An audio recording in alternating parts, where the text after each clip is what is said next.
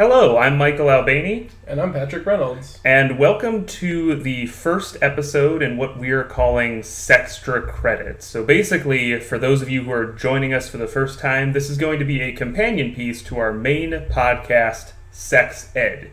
For those of you who are joining us from Sects Ed, you don't need to worry. This isn't going to be a podcast that replaces sects ed. Rather, it's going to be a companion podcast that's going to address certain elements that don't necessarily fit into our main podcast mission. Over at Sects Ed, we generally cover uh, sects, new religious movements, uh, whole categories of faith. But here on Sectstra Credit, what we want to do is focus on profiles of individuals and even smaller facets of faith. And that's really good for what we want to talk about today because what we're talking about is young earth creationism, which is not in its in and of itself a sect, but rather a particular facet of faith for uh, certain evangelical and fundamentalist Christians in the United States. So, to talk about young Earth creationism today, uh, we actually have a guest for this first episode. So, uh, he is the media editor uh, for the Activist History Review and also a history PhD candidate and graduate student at Georgetown University. Uh, he received his MA at Georgetown and BA at SUNY Geneso in Western New York before moving to DC. Uh, he taught eighth grade social studies in English in his hometown of Pittsford, New York, and his research focuses on slavery, abolition, and migration in the northern United States. Uh, he's currently in the planning stages of a dissertation that will examine the fates of central Pennsylvania's enslaved and slave holding families in the wake of gradual abolition. So please welcome to this first episode of Sectstra Credit, Cory Young. Welcome, Cory. Thanks, Michael. Thanks, Patrick. It's it's really nice to be here, and um, I, I, couldn't help but notice in, in that brief introduction you you said SUNY Geneso, and that's fine. I have heard so many people pronounce the name of that that college in so many different ways. It's it's SUNY Geneseo, and Geneseo actually comes from a Seneca word. It's in Seneca country in western New York, meaning beautiful valley. And one time, Second City, the improv group, came through, and they must have pronounced it three or four different ways without ever once getting it correct. Genesso, Genesco, Geneseo. So you, you've you have inadvertently joined a, a long tradition with with regards to that name. Well, I appreciate you correcting me as someone who uh, studies uh, indigenous history, but uh, isn't the most acquainted with the language yet. I like to be corrected on those things. Both Patrick and I actually worked uh, up in Mackinac oh. Uh, before we met, and um, for those who are listening who aren't from Michigan, Mackinac it actually has two different spellings. Uh, one ends with a C, that's uh, the French spelling, so Mackinac Island, and then there's Mackinaw City, which is spelled with a W at the end, and that's sort of the English phonetic spelling. But in different records and uh, archival sources I've looked at, you get about 70 different spellings, and I'm sure as much as like as many different pronunciations of of that. So yeah. it happens. Um, so before we dive into the topic at hand, uh, we want to give you an opportunity to just uh, introduce the Activist History Review. So, uh, what exactly is your your publication site? What can you tell us? So, the Activist History Review is the the brainchild of, of two history PhD candidates over at George Washington University Bill Horn and Nathan Wuertenberg. And, and Nathan, in particular, really is responsible for getting this thing moving. In the wake of this past election in the United States, Nathan decided that that he wanted to create a platform for scholars and activists and workers and all really all interested parties to have a single space to come together and discuss issues that are, are facing this country in a historical context. We we we're pretty much tired of, of the notion that historians should be objective as as if you know of course we strive for objectivity but the notion that we don't have our own deeply held political views and ideas about about history and the type of history that we want to do, we thought, well, why don't we just pull back that curtain and, and explicitly say this is an activist history platform where the type of history, the type of, of activism is is part of our mission statement rather than something that we might have to apologize for in a different platform. And so far, I think it's been it's been going well. We have a nice blend of scholarly pieces and activists promoting their own causes in different cities in the United States. We are hoping to branch out and include more pieces by workers and other individuals who, who have something to say and, and should have a platform to say it. So that was the original idea behind the Activist History Review, and we are just happy to see where it's going.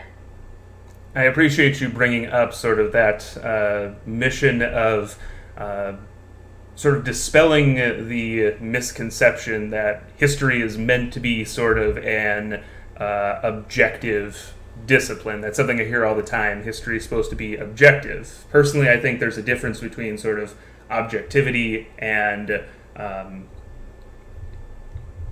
darn, I'm forgetting the word that, uh, that I need for this. Um, passivity. Not passivity, but um, I would I would say um, truth, truthfulness, honesty.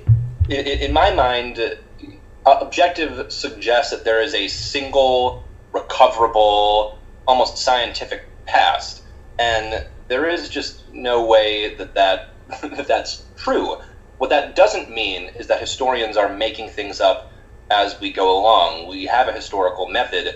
We are seeking the truth, but depending on what sources you use or choose not to use, or what questions you ask, the story is always going to look a little bit different. So I think objective is just the wrong word. But to say that we're not objective is to not say that it is not a discipline rooted in facts, rooted in in a rigorous method that seeks to tell what happened as well as we can analyze it. Mm-hmm. Impartiality was actually the word I was uh, looking for. But um, but yeah, and I think that's something that, uh, especially for our work, looking into sort of uh, fringe, unorthodox uh, religious movements, you tend to find that depending on the period of time of the sources you're looking at, the authors are very often like their interpretations are colored by a number of different things. Their personal experiences, their uh, sort of agendas are coloring it, and there's different levels of uh, accepting your positionality of sort of being able to take a step back. Some people do it very well. Uh, some people not so much, and then you see all these weird sources that basically just bash the groups yeah. that we look at, and those are sort of fun to look at, but also mm-hmm. sort of disheartening to look through, to wade through, basically. Um, but yeah, and we appreciate you coming on here today. We should say that uh, this podcast today is actually uh, part of a collaborative piece that we're doing. So basically, we're going to be talking about young Earth creationism uh, on this podcast, but I've also written uh, a piece on young Earth creationism that you can uh, go and check out on the Activist History Review. Um, it's theactivisthistoryreview.com, and we're going to be posting a specific link uh, to the piece in our show notes. Our show notes and basically the link to this podcast. Activisthistory.com. We publish pieces every Friday, and we strive to have a scholarly piece alongside a piece by an activist. We are, uh, this past week, for example, we ran a roundtable, or, or really, I suppose, a, a short dialogue on NPR's recent podcast, S Town, and we had two different scholars reflecting on, on what they took away from listening to this podcast. And, and we ran that over three consecutive days in the week leading up to our normal Friday publication. So Fridays is a, a, good day to check out the website because that's when we have most of our new material. But as we move forward and have more authors and individuals interested in the type of work we're doing, we're hoping to expand out and have more frequent publications.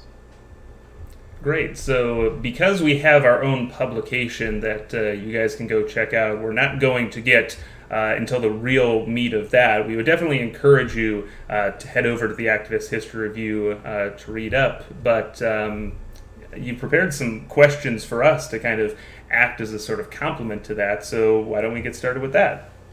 I did. Great. Thanks, guys. Um, I do have questions about young earth creationism, and I'm, I'm happy to get to those because I think it, it is worth discussing, especially as the two of you, or, or Michael, as you frame it as as dispelling this tension between young Earth creationism, intelligent design, and and science in the 20th century. So we'll get there, but but first, I just wanted to ask the two of you, uh, just as you you so courteously asked me, what is it that the two of you are hoping to accomplish with sects ed? What is it that you felt was missing from from the scholarly discourse about religion that prompted you to start this podcast?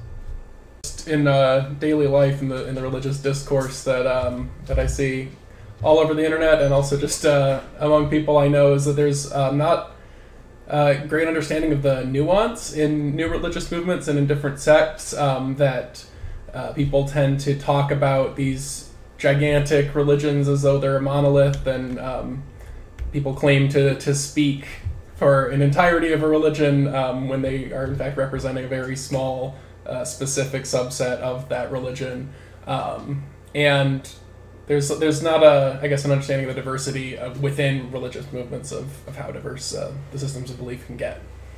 And it's also another thing I hope to accomplish is just I uh, I hope to find out more about how religions begin um, and what they look like in the early stages and try and spot some patterns there. Um, and it's also just a lot of quite fascinating stories that I love researching.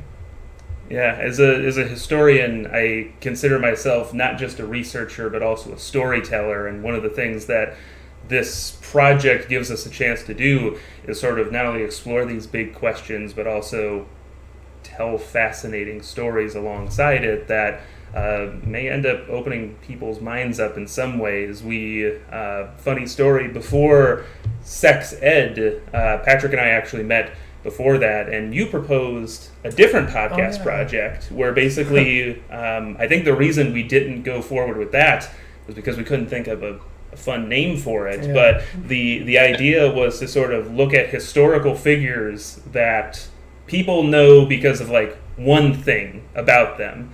Um, and I guess the best example is William Henry Harrison. If people know William Henry Harrison at all, they know that he's the president who died within 30 days of the presidency. But he's got this whole complex history about him where basically he was uh, the arbiter of Thomas Jefferson's American Indian policy, basically going into the Northwest Territory, taking land from indigenous peoples, doing everything in his power to make you know slavery an institution uh, in practice in the Northwest, despite the fact that the Northwest Ordinance forbade it. All of those complex things that people just don't get because they know the one simple thing about him. You can actually, if you're interested more in that story at all, we actually cover it in a bit greater detail in our fifth episode about Tenskwatawa because mm-hmm. Harrison and Tenskwatawa had this hate hate relationship yeah. that um,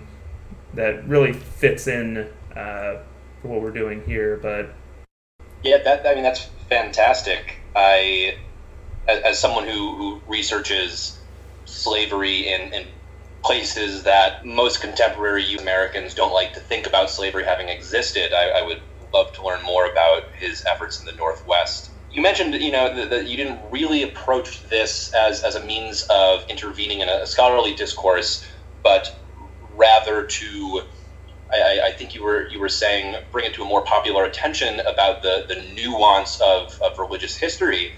I absolutely agree with with that principle, but I also think it's important to address a scholarly audience. I, I, mm-hmm. As someone who studies 18th century and 19th century U.S. history, I routinely forget how different a religious landscape this time period was. For example, when I was researching slavery in the Hudson River Valley of, of New York in the late 18th century, the, the 1790s, I was looking at the, the 1790 census, the first U.S. Census, and I was looking for for large households because I thought I could find find farms there, and I could.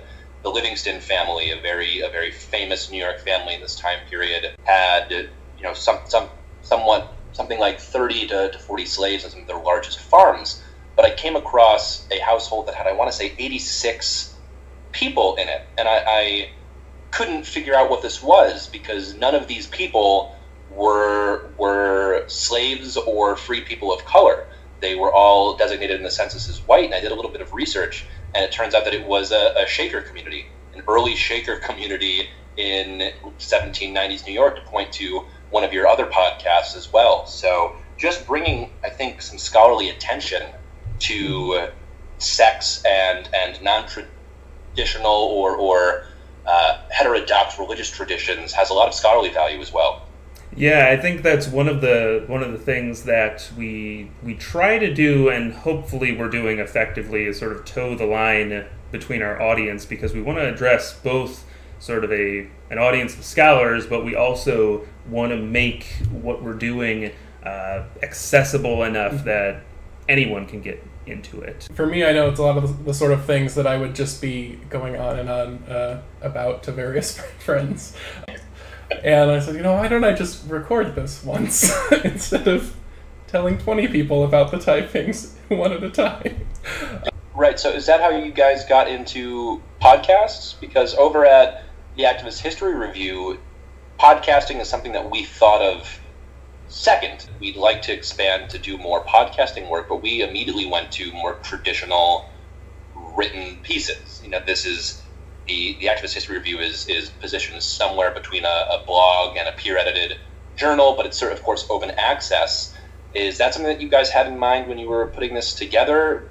Wanting to, to be able to disperse this to as large an audience as possible, make it as accessible as possible?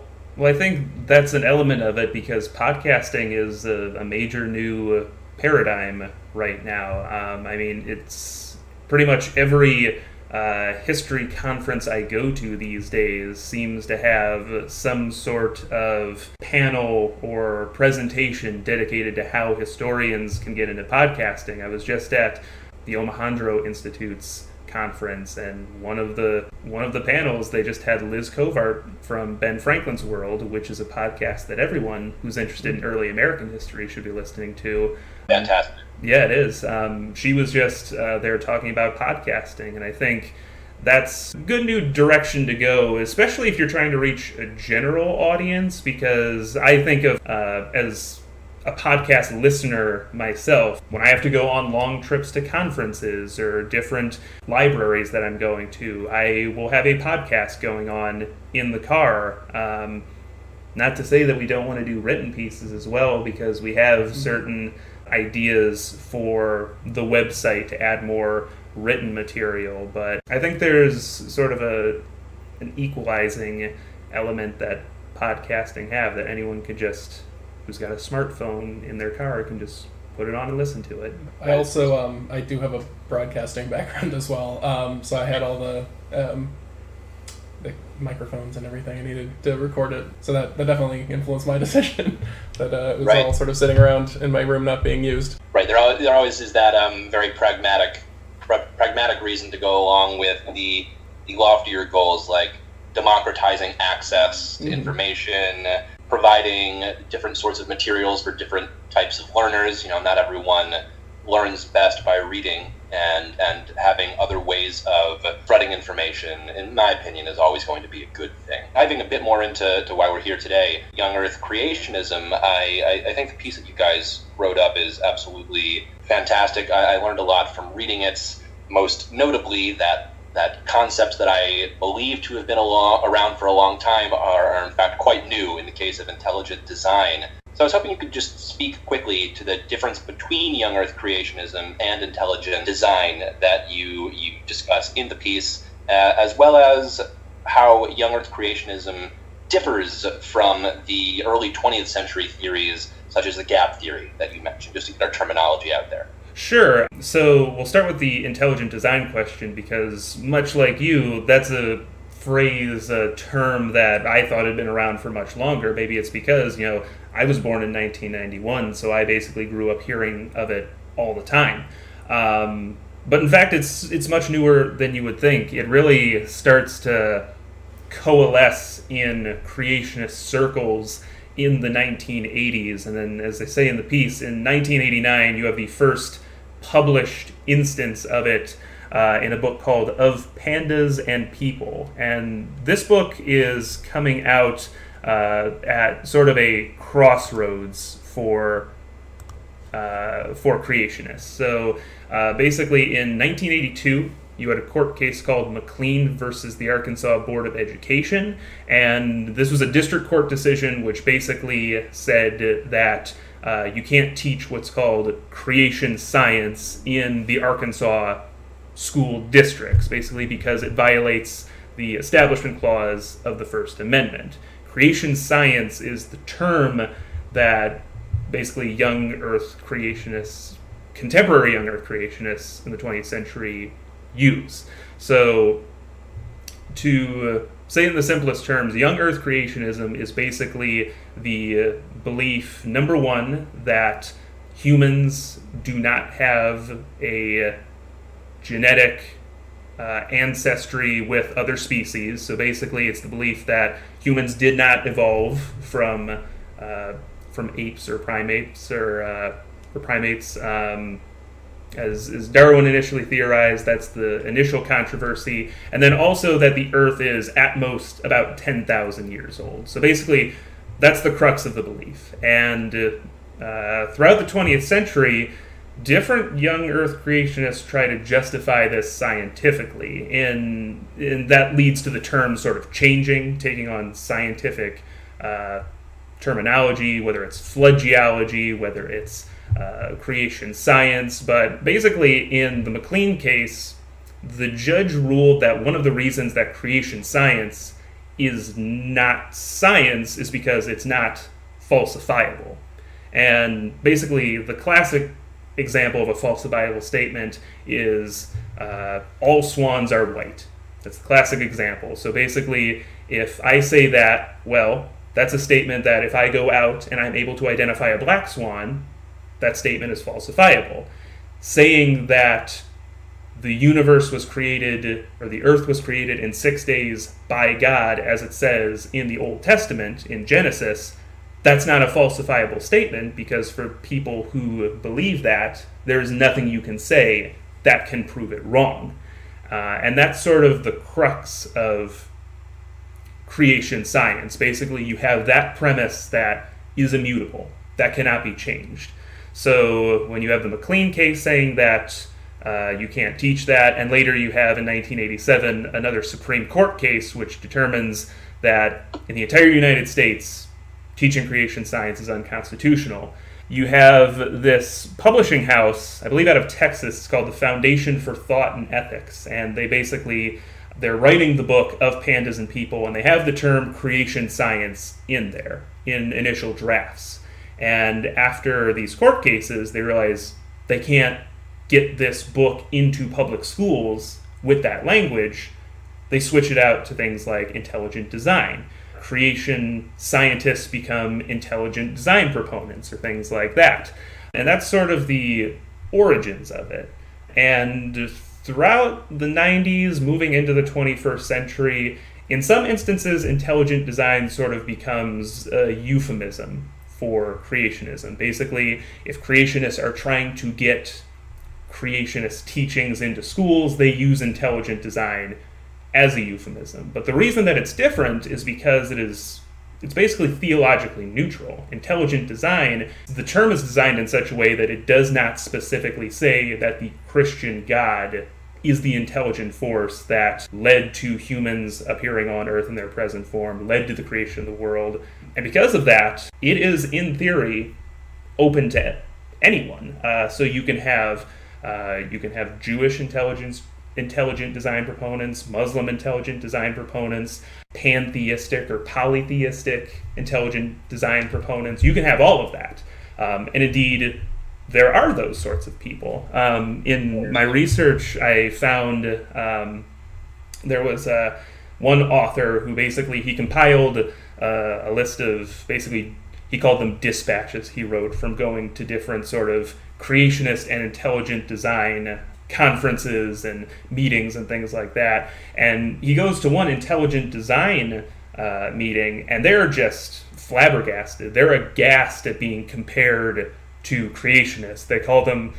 Uh, they basically say, "Oh, they're they're a bunch of idiots and Bible thumpers." Those are their words. So they see no sort of connection with young Earth creationism, and indeed, that's one of the sort of sticking points between people who are fervently young Earth creationist and intelligent design proponents. For example, um, there are certain groups of Muslim intelligent design proponents, and because their belief is not that God is the triune God, the Father, Son, and Holy Spirit, with Jesus being basically the, the Son of God, that's a major sticking point for people who want to fervently say that it is the Christian God, the God in the Old and New Testament Christian Bible. That's basically the crux of it. It, it sounds to me like a, a square rectangle scenario where not all intelligent design proponents are young Earth creationists, but all young Earth creationists are proponents of intelligent design. That might be one way to say it, although there are some people who are some young Earth creationists who fervently reject the term intelligent design because of the possibility of okay. basically saying that, you know, okay, if we have this there, it's just not enough. In fact, one of the sort of founding fathers of modern young Earth creationism, uh, the author of a book called Genesis Flood, uh, which you can read more about in the piece, but basically he says this in no uncertain terms. Basically, you know, intelligent design might help a bunch of uh, might help a bunch of atheists become polytheists, but it's not going to get them to Christianity. That's his main objection with it. Okay, so um, it sounds like despite intelligent design being a way of, of getting philosophical or, or theological thrust behind young earth creationism into schools, it's, it's a way of opening up a discussion of, of alternative forms of human existence beyond evolution, mm-hmm. despite mm-hmm. the fact that it allows that conversation to take place. There are some young earth creationists who reject it because it is non Christian. Yeah, in, in, fact, er, in fact, early in the 21st century, like the early 20 aughts, um, you had this guy Philip Johnson. He's the co-founder of what's called the Discovery Institute, and one of the things you see about lots of young earth creationist paradigms is they generally emerge in response to sort of new scientific writings and authors emerging the early 20th century with uh, george McCready price who's one of the sort of early uh, people at the forefront of young earth creationism. His book is coming out uh, his book about flood geology basically the belief that the earth is about 6,000 years old, and the way that we can dispel what what contemporary geologists like say is evidence for that is basically the biblical flood. The catastrophe of the biblical flood distorted the evidence that geologists use. So that was coming out at a time when there was a lot of controversy about the teaching of evolution in schools. So so this book is actually used in the Scopes monkey trial. Meanwhile, in the early 20 aughts and the or rather the 90s and 20 aughts this is when richard dawkins is writing a lot. And basically you start to see lots of fundamentalist christians who don't like dawkins ideas that you know you can be an atheist who's intellectually fulfilled with like there not being a god that created the universe. Like you can still be fine. You aren't like spiritually bereft or anything or intellectually bereft. And Johnson, one of the things he does is he proposes what's called the wedge strategy. So basically, it's trying to get people who ascribe to intelligent design, which he's using it as a euphemism for creationism, trying to get them into schools so that you can eventually like get more and more people in there and teach it right alongside evolution. And the way that sort of uh, it, it's phrased uh, in a lot of ways is young Earth creationists basically say that uh, evolution it is a theory and it should be taught as a theory, and there's a difference between microevolution and macroevolution. Microevolution being things that uh, changes in species that we can observe, and creation scientists are fine with that. But macroevolution, the change of, say, primates to humans, that's something you can't ob- observe, so we don't believe that. There are all sorts of different scientific ways to refute that, ways that uh, I won't try to get into right now because I'm not a scientist. Um, but Me neither. but uh, Thank you so much for, for clarifying. I have to imagine that if our listeners and readers are familiar with the the idea behind the Genesis flood, it would be through Ken Ham, who you discuss in your piece, and who some of us might know due to his debates with Bill Nye, those those controversial debates, whether it was a, a the correct decision to give Ken Ham a platform next to a very well respected popular scientist. But Ken Ham uh, very fervently believes that the flood has, and I'm, I'm, I'm quoting a comedian, Marc Maron here, effectively wiped away science's ability to be effective in any way.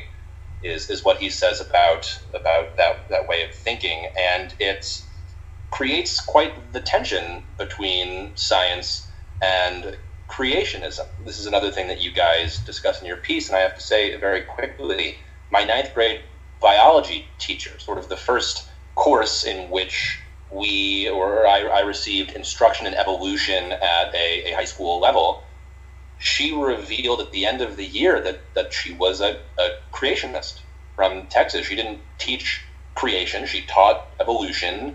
She mentioned that intelligent design existed, but did not really teach it as part of the curriculum. And, and then once we had taken our Regents exams, our state tests in New York, she said that while she teaches it, it is not her personal belief.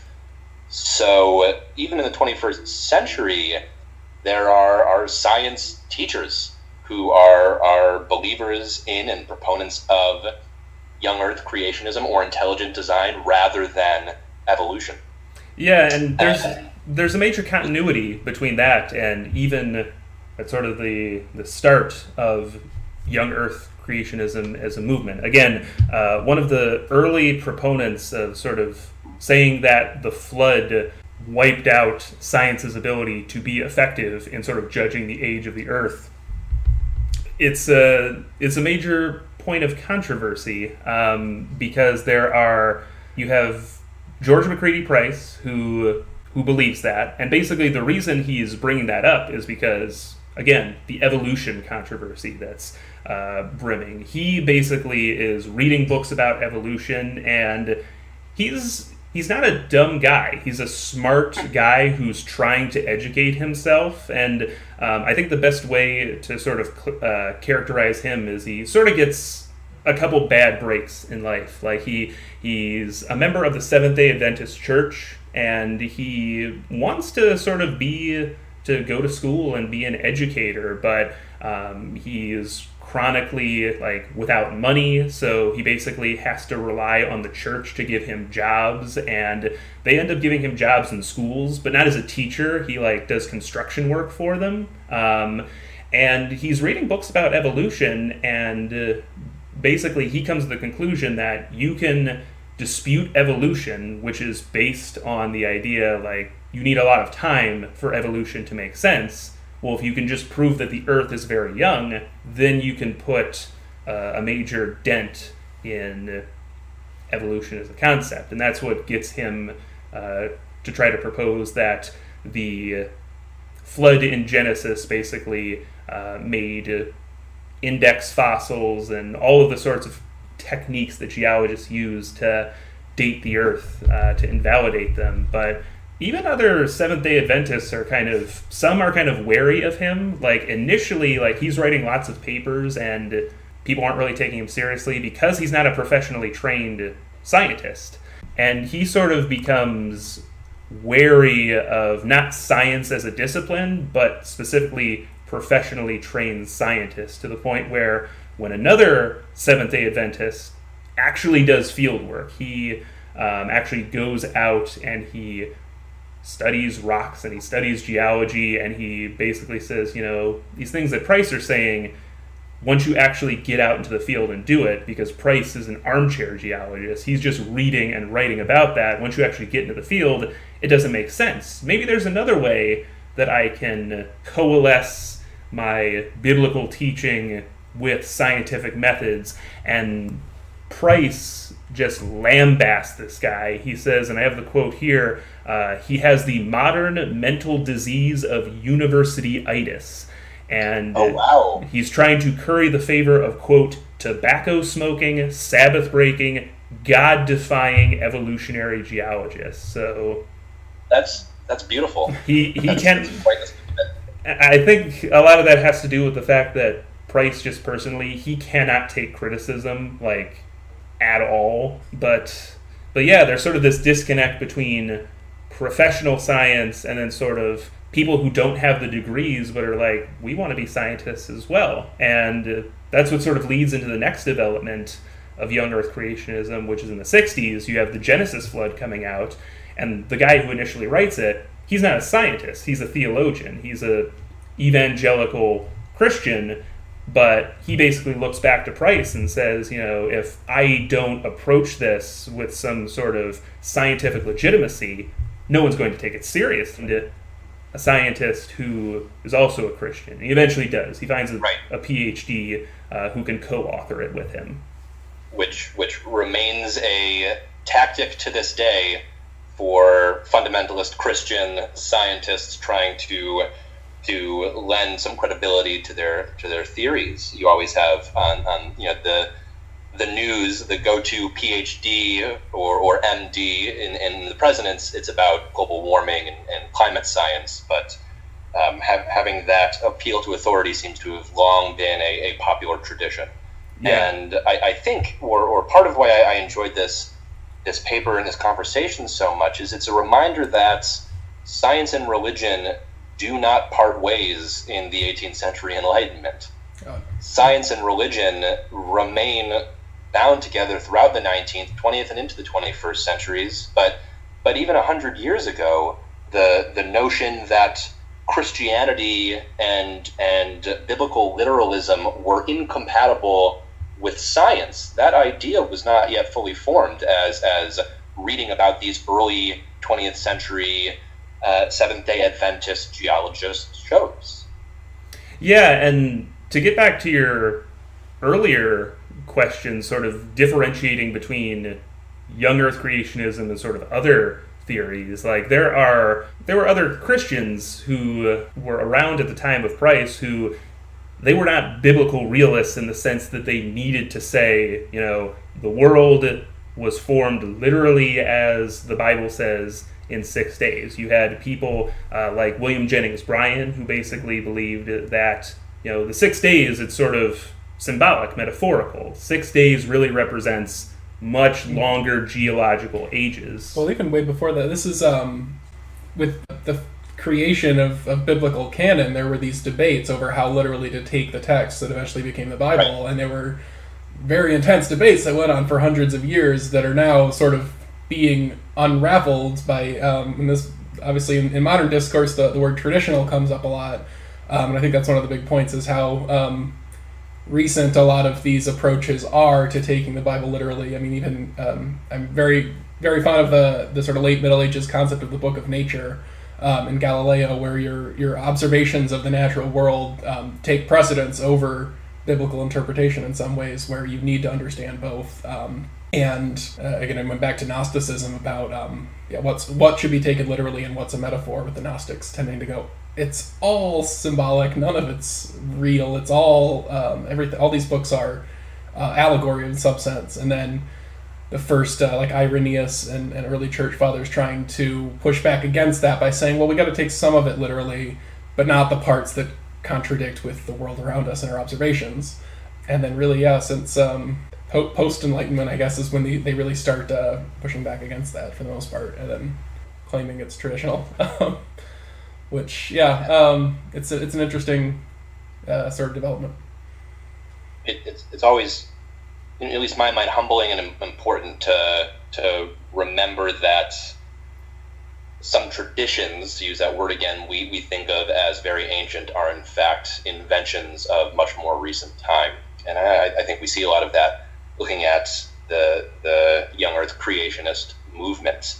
And another character I want to talk about quickly in your piece is Ellen G. White, the one of the early leaders of the Seventh Day Adventist Church. And if I understood correctly, she claimed to have had visions of the formation of Earth. Uh, she, she claims to have gone back and, and seen and witnessed the, the creation moments.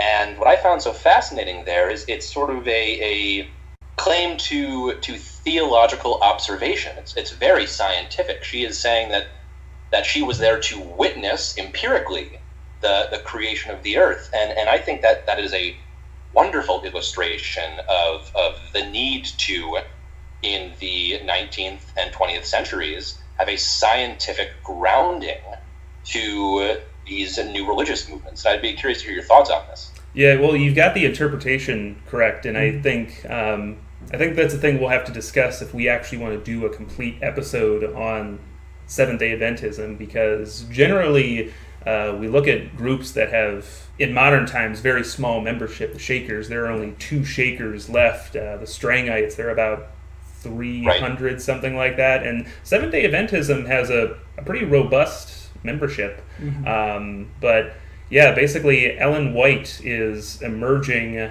after a much earlier sort of tradition, the Millerites, who basically they follow a Baptist preacher who predicts the world's going to end in 1844, or rather, the second coming of Jesus is going to happen. And after the day comes, and he doesn't come back, there are some who basically start thinking, well, maybe he was just off by a year, or maybe he was off by seven years or ten years.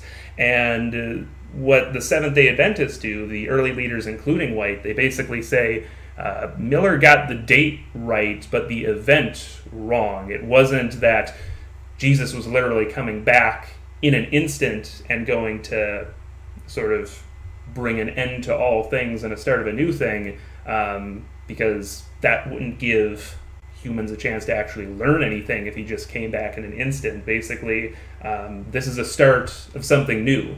And uh, I think one of the reasons White is such a compelling leader is she does claim to have all sorts of visions, which she writes about. And one of them is that she goes back in time and literally sees the creation of the world um, as it happens. And one of the things that early gap theorists say, I think one of the ways to understand that is to actually just return to the Bible. So, in the this is the NIV Study Bible. The way Genesis starts, in the beginning God created the heavens and the earth. Now the earth was formless and empty. Darkness was over the surface of the deep, and the Spirit of God was hovering over the waters. So that's two verses. Basically, gap theorists say, okay, well, that in the beginning part and that now the earth part, there's a gap between those two. There's a point where the universe is formed, and then millions and billions of years later, God creates the earth in six literal days. And Ellen White says, no, those verses are together. It was the universe was created, and then everything comes about, and I saw this happening. And I think the point you make about it being sort of an empirically observable thing is compelling because she actually uh, lambasts geologists for having like the basically for having the gall, the uh, audacity, the audacity to say that they can observe things and they're different. She calls them infidel geologists, basically. Well, this infidel also... geologists, armchair geologists. It sounds like there are plenty of disparaging names for those who, who do not take the, the Bible quite literally.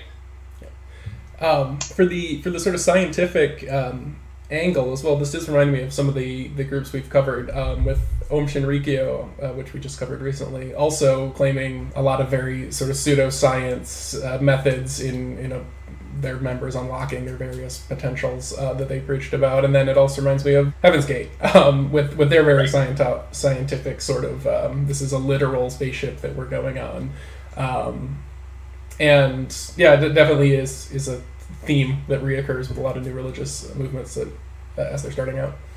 at least. I'd like uh, to make a, a, another quick point, and thank you guys for, for answering those questions. But I always have to remind myself, uh, in a, an attempt at, at sort of historical humility, you know, the notion that the, the world was going to end in 1844 or it was the Second Coming seems so you know, silly or ignorant or superstitious to us. I think we would do well to keep in mind the sort of cultural obsession and trepidation about Y2K mm-hmm. in 1999 and the end of the Maya calendar in 2012. These are very similar events that even if we don't necessarily think of them as as religious in in the, the Christian or Judeo-Christian tradition, certainly at the moments seemed feasible to a large enough group that it was a cultural event for almost everyone involved. Uh, I, I, for me, it's, it's enough to, to say that these moments have not gone away, even if the way we discuss them have shifted.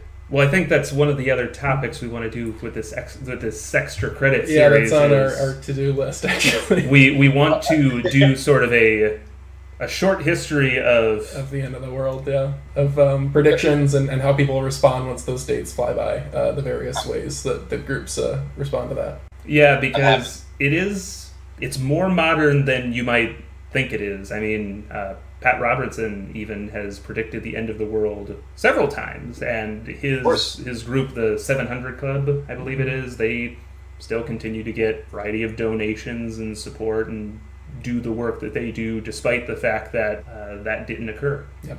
Yeah, um, I'm, yeah. I'm happy to have anticipated some of your, your future work. And I, I think before we, we wrap things up here, um, I these these conversation, these debates are not going to go away. Of course, the most famous Seventh Seventh Day Adventist now is is Ben Carson, a, a neurosurgeon, a member of the scientific community, and now a cabinet member in the, the current administration. So so these these viewpoints have become increasingly increasingly mainstream and, and a part of our religious dialogue. So this is not simply historical. This is history that continues to unfold as as we live it today. So thank you for that reminder. And to sort of end on a, on a note that ties us back to the activist history review, I, I was wondering if there's anything to learn, or you guys feel that there's anything to learn from studying these, these sects, these new religious movements. And I was particularly interested in sort of the self imposed uh, isolation of a lot of these groups, the, the ostracism of, of groups like the Shakers, the community in, in New York, the Amish, the Mormons. I feel like a lot of activists are also socially ostracized and, and on the, the fringes of, of their, the communities in which, in which they work. So, what lessons are there for, for those of us who are, are continue to try who continue to try to change the world that we live in? Well, I think uh, one of the big lessons uh, we talked about it in the Shaker episode is um, once groups start becoming self-isolated, there's that in-group, out-group mentality. I think people on both sides really need to be very careful of that and of uh, of just not demonizing the other. Uh, we're, we're just doing a recording a Taiping rebellion episode where um, they Great. quite literally saw their opponents as literal demons, um, and it's uh, interesting how many of these groups start with very, um, very lofty, uh, almost utopian goals in some of the groups, where they're, they're they have a legitimate complaint or a legitimate dissent um, that makes them outsiders. That there's there actual serious problems. I mean, uh, even Jonestown um, was was fighting racial segregation from the start, and that was part of what made them outsiders uh, when they were getting started. But once a group becomes isolated and and starts um, viewing the world in their own way and cutting off uh, opposing viewpoints, that's when things can get really violent. Is once that escalates um, from both sides, and it's it's the demonizing uh, for, of the people in the in group and the out group, whatever those groups are.